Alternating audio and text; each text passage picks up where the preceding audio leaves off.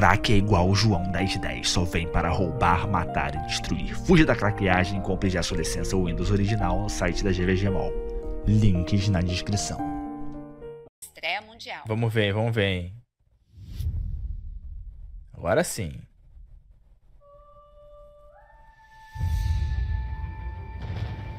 We have always known war. Agora sim, agora é o Obsidian, hein? Quem a gente conhece, hein?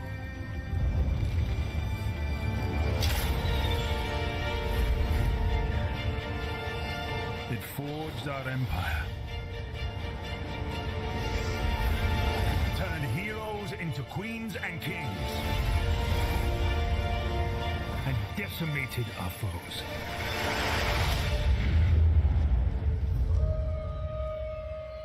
Now our oaths are lost, forsaken.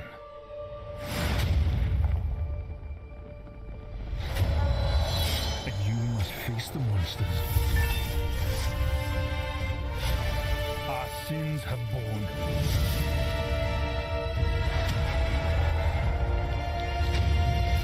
Is an oath worth the weight of a crown?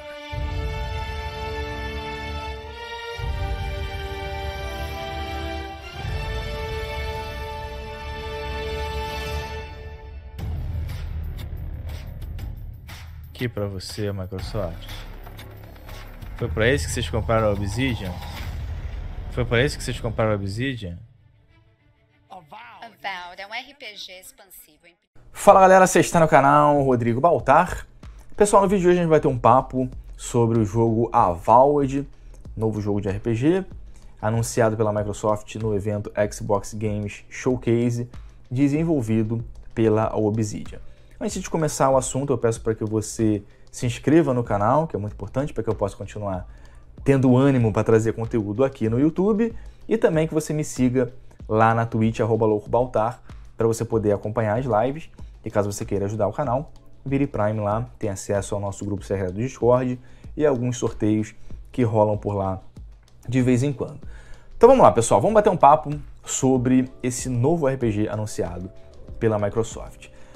A Microsoft informou que o Avowed é o jogo de RPG que a Obsidian gostaria de desenvolver e não tinha orçamento para isso. Então, a Microsoft é, adquiriu a Obsidian e deu ali uma carta branca para que eles fizessem o RPG, o RPG. E quando a Microsoft fala isso, a gente acaba esperando um grande jogo, né? Porque tem um peso muito grande a Microsoft e a Obsidian por ser uma das maiores desenvolvedoras de jogos de RPG da história do PC. A Obsidian ela foi fundada por é, ex-funcionários da Black Isle, que é uma empresa também muito conhecida lá no final dos anos 90, por fazer jogos de RPG isométrico. Então a gente teve grandes clássicos que foram desenvolvidos pelos mesmos caras que agora ainda estão trabalhando lá provavelmente na Obsidian e que tem a responsabilidade de trazer um grande jogo de RPG que a gente já não vê há bastante tempo. Vocês viram a minha reação aqui? Eu vinha criticando aqui a Obsidian e a Microsoft porque desde que a Microsoft comprou o Obsidian, eles anunciaram o Grounded e a galera falou assim: não, mas o Grounded Balta já estava sendo desenvolvido, foi desenvolvido ali por não sei quantas pessoas, só umas pequenas, poucas pessoas trabalhando no jogo. Beleza. Aí saiu o Outer Worlds, que saiu antes, né?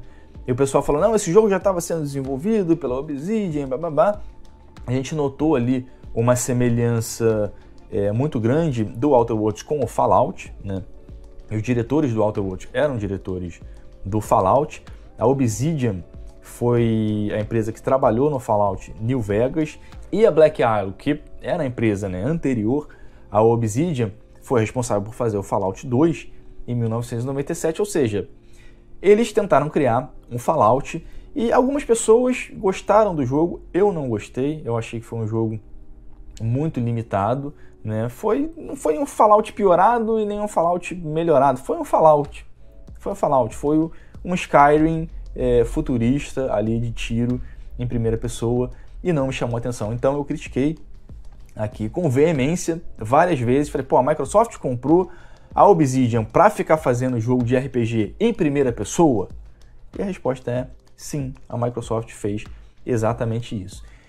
E se eu viesse aqui agora criticar a Microsoft e a Obsidian por estar tá fazendo um grande RPG em primeira pessoa e que o jogo deveria ser um RPG isométrico, como a gente teve tantos outros jogos, a, a, a Black Isle e a, e a Obsidian, eles praticamente criaram, moldaram esse cenário de jogos para PC com lançamentos como Fallout 2, Baldur's Gate, Neverwinter Nights, Knights of the Old Republic, é, Icewind Dale, Planescape Torment, todos esses jogos eram muito parecidos, Dragon Age Origins, é, Sword Coast Legends, Tyranny, Pillars of Eternity, que foi o mais recente. Então, a Obsidian, ela praticamente moldou esse, esse criou né, esse nicho de jogos para um PC. E se eu tivesse aqui falando que o jogo deveria ser assim, aí sim eu me enquadraria naquelas críticas que eu recebo aqui todo dia, que eu estaria tentando impor o meu gostinho pessoal. Eu sei que jogos com esse tipo de visão isométrica de RPG, eles têm muitos fãs, geralmente é a galera mais velha, que viveu lá aquela época do final lá de, de, dos anos 90, com esses jogos no PC. Só que acontece que esse tipo de jogo é um tipo de jogo que não vende. É um tipo de jogo que não vende. Então não tem nesse momento como a gente criticar nem a Microsoft, nem a Obsidian, por eles terem optado por fazer um jogo de RPG em primeira pessoa. Até porque, desde o Skyrim, né, apareceram vários outros jogos, Fallout 4, por exemplo, que foi um jogo que a galera hypou muito e quando chegou lá na hora não era nada disso, né, foi um jogo muito fraco. E agora tem o Cyberpunk, que todo mundo torceu o nariz para o jogo. Todo mundo não, mas muita gente torceu o nariz por ser um jogo de RPG em primeira pessoa. E a Microsoft vem com essa proposta tentando pegar aquela galera que ainda fica jogando Skyrim e alguns jogos assim. Quer dizer, tentando trazer um jogo novo, né, atualizado de RPG, com a mesma pegada e com um bom enredo né, contado pela Obsidian, que a gente sabe que eles sabem fazer. Então não tem como a gente criticar a Obsidian e a Microsoft, porque jogos de RPG isométrico são jogos de nicho. São jogos de nicho. Eu mesmo, que sou fã desses jogos, não tenho tempo de jogar mais. Então você imagina a empresa que tem que vender um console, porque tem que vender o console, né? Para com essa palhaçada de, de que não vende console, de que não tá nem aí para vender console, tem que vender o console. E se a Microsoft tem que vender o console, ela tem que apresentar algo apresentável nos moldes de hoje, do que a galera pede hoje. E o que a galera gosta hoje? Jogos de primeira pessoa, cara. Hoje em dia, os jogos que mais vendem, provavelmente, né, baseados em história, são jogos de terceira pessoa e jogos em primeira pessoa. A gente sabe, por exemplo, que o Disco Elysium é um jogaço. Todo mundo fala que o jogo é incrível, que é um RPG sensacional, mas você jogou? Não, né? Você não jogou. Porque as pessoas não têm tanto tempo de jogar jogos assim hoje em dia. Aquela galera que ficou órfã desses jogos de RPG isométrico não tem mais tanto tempo de jogar, porque tá todo mundo velho, né? Com filho, trabalhando, cheio de problema. E a galera mais nova não sabe nem o que, que é aquilo. Não sabe nem o que, que é aquilo. Então a gente viu esses jogos é, irem mudando ao longo do tempo. A gente saiu de jogos com diálogos gigantescos, como era no Fallout, no Baldur's, no Planescape, para jogos que começaram a ficar 3D, Knights of Old Republic, Neverwinter Nights, depois ficou completamente 3D com Fallout 3, com Fallout New Vegas, depois até voltou pro Pillars of Eternity, ali pro Tyranny e tal, pro Dragon Age Origins, mas você vê que os jogos hoje de RPG, eles são bem simplificados, os diálogos são simplificados, como a EA fez com o Dragon Age 2, o Dragon Age Inquisition. Também aconteceu com o Mass Effect. E embora o Outer Worlds ele tenha até uma quantidade de diálogos legal, nem se compara, nem se compara com o que era feito antigamente pelas mesmas empresas. Então, eu consigo entender perfeitamente que a Microsoft tem que teve que fazer isso e a Obsidian teve que fazer isso porque o jogo precisa vender. Porque o jogo precisa vender. Imagina você ter que mostrar para um monte de gente que não entende porra nenhuma disso, que não jogou os jogos na época, um jogo de Xbox Series X de RPG isométrico. Que é um tipo de jogo que nem faz sucesso no, no, nos consoles, né? Só faz sucesso no PC. Então não fazia sentido nenhum. Então não fazia sentido nenhum. Eu, embora tenha ficado decepcionado com o Outer Worlds e não veja sentido nenhum no Grounded, eu confio na Obsidian para trazer jogo de RPG em primeira pessoa nos moldes do Skyrim, que era cheio de problema, mas sim foi um jogaço e que com certeza, com certeza vai agradar muita gente. Pode até não me agradar. Pode até não me agradar, porque hoje em dia eu não curto mais jogos de RPG em primeira pessoa.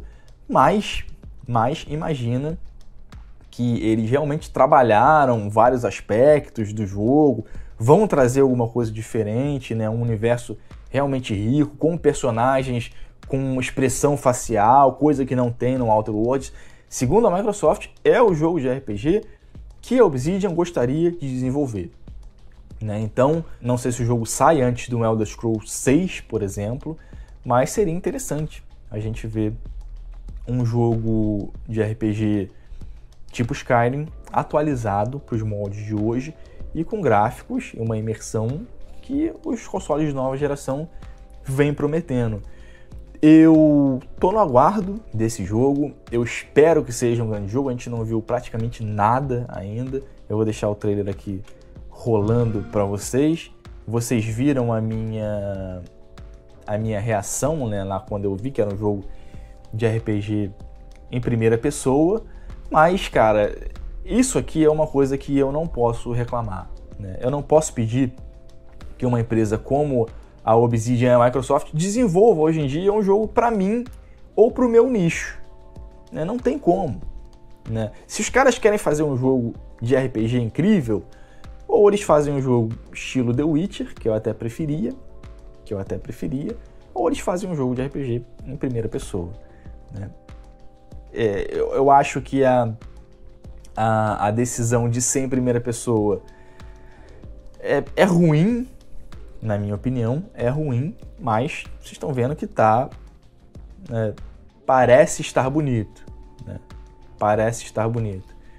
Então a gente tem que aguardar para ver o que a Microsoft vai trazer para gente. Eu quero saber o que vocês acham da, dessa decisão de ser um RPG em primeira pessoa, de, de não ser um RPG isométrico, por exemplo, como muita gente gostaria que fosse, falando por conta da Obsidian.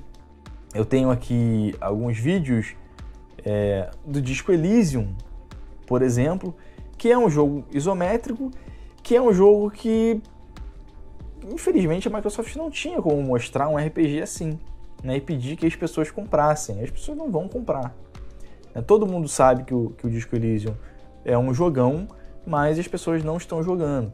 E a mesma coisa acontece com o Pillars of Eternity. Né? Tá aqui a minha gameplay do primeiro jogo, né, que é um jogo que até hoje eu não tive tempo de zerar. Quero jogar ainda, é um jogo perfeitamente jogável até hoje, né, que está com tradução em português. E a outra opção, a outra opção seria que o jogo fosse um RPG em terceira pessoa, né, um RPG no estilo no estilo Witcher desenvolvido pela Obsidian. Mas não tem como a gente fazer nada, não tem como a gente exigir isso da empresa. E eu espero, eu espero que seja um grande jogo. Então, pessoal, valeu aí pela companhia de vocês. É, quem puder curtir o vídeo aí, compartilhar, comentar, deixar as opiniões de vocês. Vocês preferiam que fosse um RPG? Vocês preferiam que fosse um RPG no estilo Pilares of Eternity? Vocês preferiam que fosse um RPG no estilo Witcher? Ou vocês querem querem um novo Skyrim com uma história profunda e atualizada para os dias de hoje? Deixem nos comentários. É nós, um grande abraço e até a próxima.